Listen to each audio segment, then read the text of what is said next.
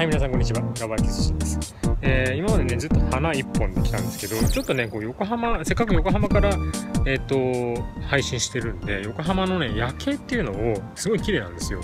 えー、これから少し織り交ぜていこうと思います。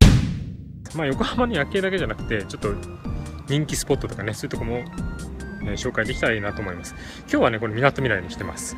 え後ろに見えるのは、あの3つ、3つ子のように出てる、出てるっていうか、立ってるビルが、え、クイーンズスクエアその横のこの高いところが横浜ランドマークタワーですね。でこっちに来てこれあの三日月のホテルみたいなの見えますか？あれがインターコンチネンタルホテルでその手前がワールドポータースという商業施設ですね。こっからだと赤レンガ倉庫は見えないんだな。赤レンガはまた別の機会にやりましょうか、えー、すごくねとにかく本当に横浜の夜景は綺麗なんで、えー少しずつ紹介していきたいと思います。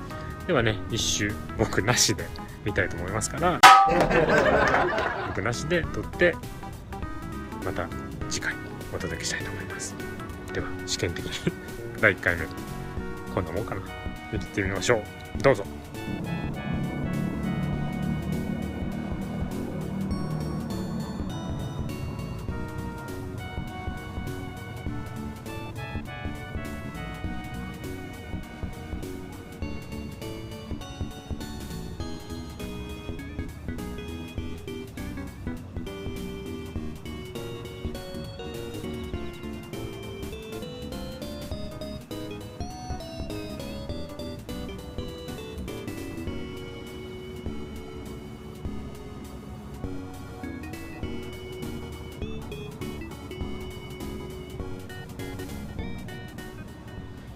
デートスポットにどうぞ。